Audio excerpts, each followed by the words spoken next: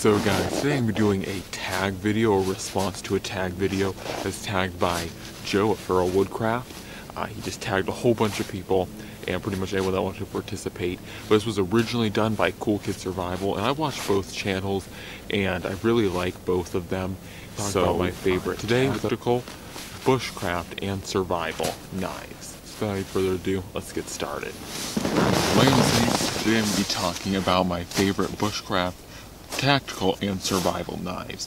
Now I know it was traditionally from Cool Kid just uh, tactical and bushcraft knives, but I decided to throw survival in there because that's what Joe went with. But this knife you guys are looking at, I've shown this a lot here of late, so I'm not going to talk much about it, but this was one of Joe's picks, and it is my pick, truthfully, because it is my top bushcraft knife. I really do love this knife. For those who are still unfamiliar with it, it is the Bark River Knives Bushcrafter.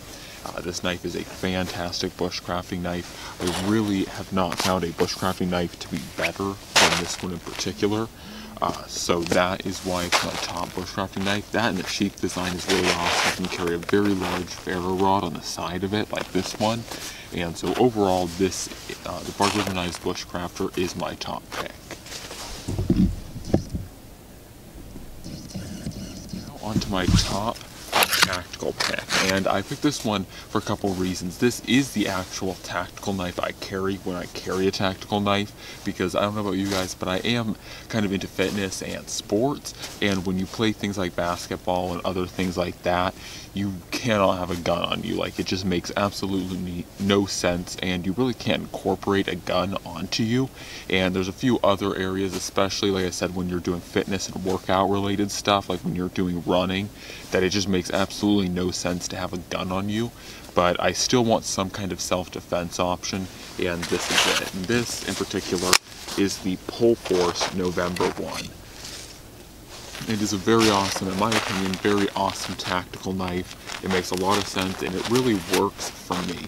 You know, this might be a knife that's a little bit too expensive for some people's taste, and you know, be it what you will, uh, it's totally up to you. But this is one of my favorite uh, top tactical knife picks, just because one, I have it, and two, I really love its ergonomic setups. It's a great knife for defensive work and uh, for me it personally works very well. Under the shirt very well because I carry this as a neck knife. So that's another reason why you don't see me pull out some like gigantic tactical knife uh, or some kind of like miniature sword. I do carry this as a neck knife and uh, for defensive situations. So it works really well for my setups and uh, that's why it's my top tactical pick. Is because it's also my real life top tactical pick to survival. So survival for me is kind of like a mixture between like not very tactical or not super tactical, but it's also not super bushcrafty either. For me, like survival in my mind is kind of like the middle grounds, the in between a survival and bushcraft knife. And for me, that pick would go to the Tops Fieldcraft. This is a knife I've used for a lot of years and still really love it. For me, this middle of the grounds kind of bushcraft survival knife is the Tops Fieldcraft. I've had this knife for quite a few years now, I think around three. Yeah, three for sure. Going on, I think maybe four.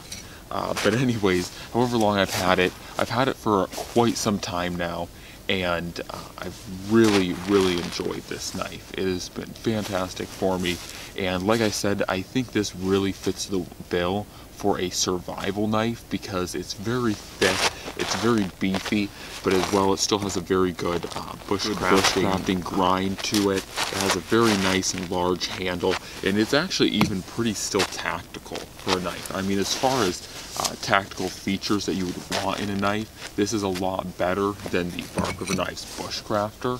So it definitely is my choice for top survival knife. It's just an awesome knife. I've really beat the heck out of this thing and treated it with no remorse. I remember the last time I really used it, my friend and I, we were peeling birch off of uh, birch trees or birch bark off of birch trees.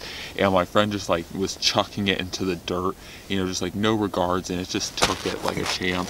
Uh, I am a little bit more rough with this knife than others but that's just because I've had it for a very long time and I know absolutely that it can take whatever I'm going to throw at it So anyways, that's my top choice for a survival knife. Like I said, I think it really bridges the gap between a straight bushcraft knife and a straight tactical knife.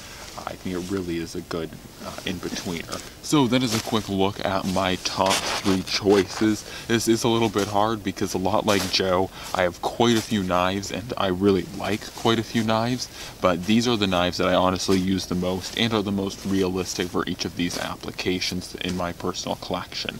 I also want to do a shout out to two other channels, and that is Drop Forged Survival, I really bushcraft like and tactical especially, and then Wingman 115. I'd love to see what those two have, and uh, I'd love to see what you guys got. And for anyone else that wants to do this video, definitely uh, do it and put your link to your video in the comment section below so that we can all see it and uh, that way you can all still participate but those in particular that I'm really shouting out are Drop Forged Survival and uh, Wingman 115 the links to all the channels uh, both Joe and uh, Cool Kid Survival and DFS and Wingman 115 will be down in my description below. If you want to check out any of those four channels, I would highly encourage it because uh, they're all pretty awesome YouTubers for now, and I'm out.